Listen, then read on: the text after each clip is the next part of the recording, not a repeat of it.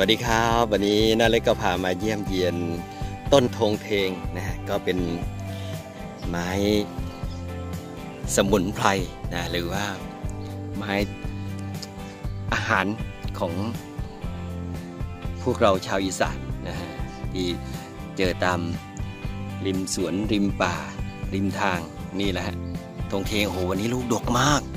ดูฮะเป็นไงฮะ ลูกเขาก็จะเหมือนโคมไฟอะ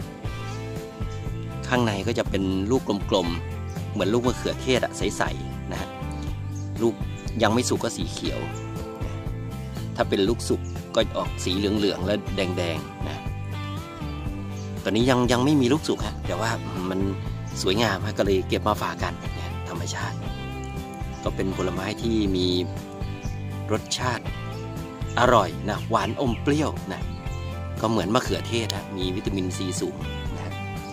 ก็เป็นยาช่วยละลายเสมหะด้วยนะเราไปเจอตามป่าตามอะไรนี่เห็นเนี้ยโอ้โหเนี่ยถ้าลูกสุกเขานะเปลือกตัวเนี้ยมันก็จะแห้งเหมือนใบไม้เลยนะจะแห้งเหมือนใบไม้เราแกะข้างในก็จะเห็นเป็นลูกกลมๆนะอันนี้มันลูกยังยังไม่แก่นะเกือบจะแก่แล้วแหละ เดี๋ยวผมจะลองแกะให้ดูสัก